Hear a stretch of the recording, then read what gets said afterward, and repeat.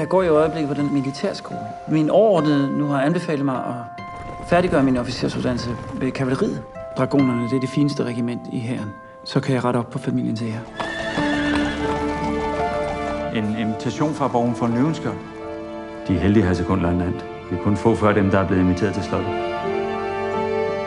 Min datter, Edith, løjtnant Appelgaard. Frøken Edith gør mig den ære at danse den næste dans.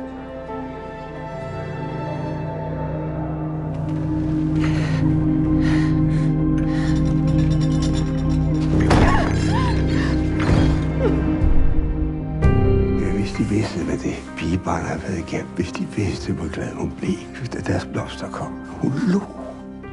Hun lå. Når folk ser mig på krykkerne, så glemmer de at trække vejret. Den stakkels pige, tænker de. Ja, nu stakkel. Giv mig en cigaret. Det er vel forhåbentlig ikke den lamme datter eller hans penge derude efter. Nej, hvad regner du mig for? Selvfølgelig er det den unge, smukke niese. Ikke, Anton?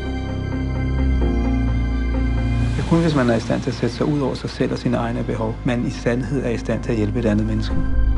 Deres fremtid ligger i kavaleriet som løjtnant, ikke med et eller andet forkrøblet kvindemenneske. De har jo selv fortalt mig, at den behandling, hun får, ikke virker, men det er med til at give hende lidt håb. Det er forbundet med en meget, meget stor risiko. Det øjeblik, de vælger at fortælle sandheden for Edith. Usædvanligt godt menneske er løjtnant.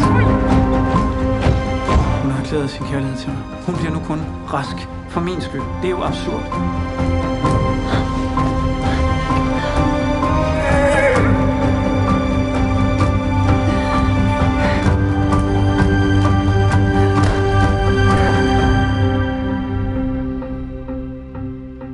Hun har åbnet sit hjerte for dem.